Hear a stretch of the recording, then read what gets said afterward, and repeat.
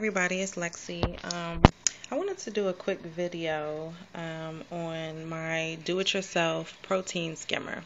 I saw a bunch of do-it-yourself videos that actually didn't um, even show you how to do it yourself. So I kind of just took, I guess, looked at them or whatever and put something together myself. And guess what? It works. It might not be the best, but it works. And I used everything that I had already at home. Um, so anyways, oh, this is my little baby right here. This is my 30 gallon little tank. These right here are my do-it-yourself rocks and I cured them outside and everything and they're perfect. It's two different rocks. There's one and then there's a big one. Um, oh, and then there's a little itty bitty one right there. Anywho, oh, look at that's my green spotted puffer I acclimated to salt water. Okay, regardless. Um, this is the skimmer. It is basically the small uh, or that long Gatorade bottle. I cut the bottom off, the very bottom. I put a hole for to stick the uh, air tube in with the limestone wood thing. It's a I guess, oceanic for the BioCube. Um, then I put two holes for suction cups to stick to the glass. Um, to get the air stone inside, you basically stick the hose in and then pull it through the bottom and then stick the um, attach the air stone. Then you can just pull it, push it up into the uh, skimmer and then pull the hose tighter so it won't be just dangling.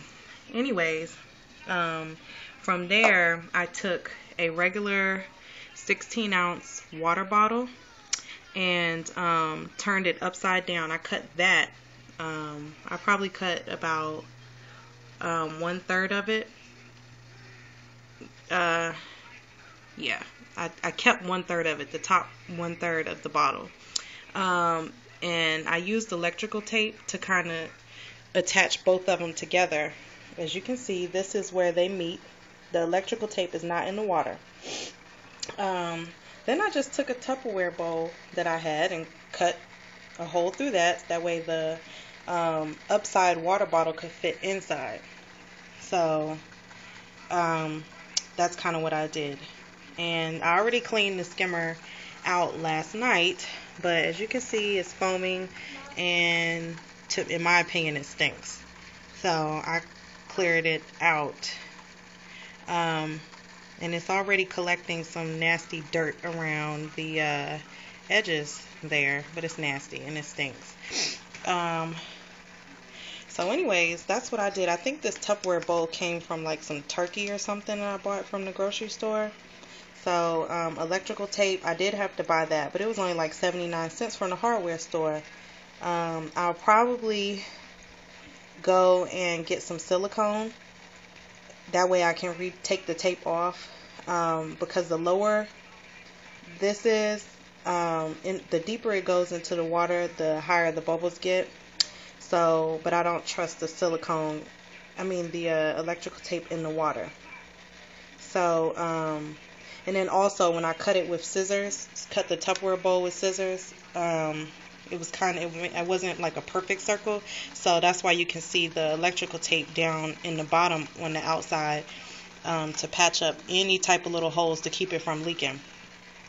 But I mean that's pretty much it you know um, yeah just the last time I actually made one before and it worked out great in my little 16 gallon uh, tank. And um, it was producing like a little red um, red bubbles and white bubbles.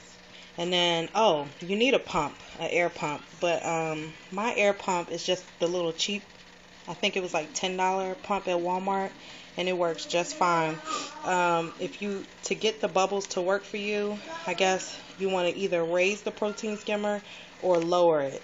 And then you'll, I guess, determine how much bubbles I guess it's going to make. I guess it depends on how deep your tank is. Because my um 16 gallon, um, I don't know, was it? I think I had the uh, skimmer higher.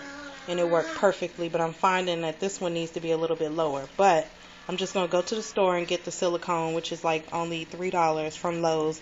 And they have one that um, says Reef Safe on it. So that's what I'm going to do to get the two bottles stuck together and then seal any type of gaps that is from the Tupperware in this little um, bottle.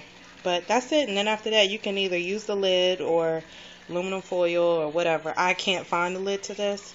So, um, I had aluminum foil on it, but I just wanted to show you guys that it was making bubbles. Um, and I'll even show you how I lower it. Like when I lowered it, I got some really, see, bubbles are just going everywhere. And I only lowered it just a little bit, but I prefer not to have the tape in my water. So, but it's they're still going over, as you can see. I mean, I'm still getting bubbles and stuff. It's just taking longer. But I think I heard that's better because you'll get more dirt or something. I don't know, but anyways, this is a basic little simple DUI, I guess, until you can really buy a big skimmer. So, and this is my little new tank. And I have my lights coming in, so it's kind of ghetto rigged right now from my old little 16 gallon tank.